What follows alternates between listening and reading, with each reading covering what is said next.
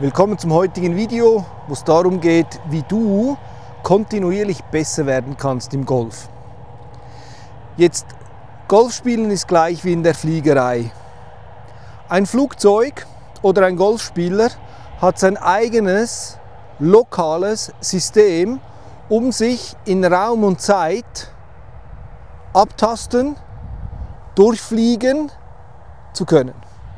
Jetzt, je besser dass das eigene System zu Beginn geeicht wurde, betankt und die Strecke klar ist, wie schnell ich von A nach B fliege, umso erfolgreicher wird der Flug, respektiv das Abgeben und das Erreichen des Ziels mit dem Golfball sein.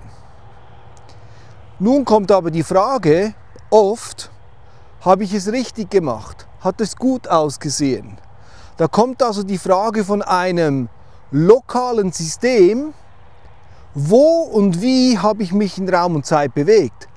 Und in der Fliegerei ist es so, dass die Fliegerei ein globales System dazu benutzt, um zu wissen, wo es sich befindet, wenn es um den Globus fliegt. Im Golfspiel ist es der Golflehrer, der dich betrachtet, wenn du einen Schwung machst, oder es sind Systeme, die Sachen aufzeichnen, äh, zum Beispiel ein Trackman, der dir sagt, wie der Impact gewesen ist und was der Ball gemacht hat. Und aufgrund dessen Feedback kannst du Rückschlüsse ziehen und weißt, was du getan hast, um dich besser in Raum und Zeit bewegen und orientieren zu können. Jetzt wer regelmäßig dieses globale System benutzt, der wird sowohl in der Fliegerei wie auch im Golfspiel weniger Fehler machen, besser und optimierter seine Strecken fliegen können oder spielen können. Und von daher der heutige Tipp ist, regelmäßig zum Pro gehen, mindestens einmal im Monat. Und wenn du das über ein Jahr lang machst, hast du zwölf Stunden, 50 Minuten zum Beispiel genommen.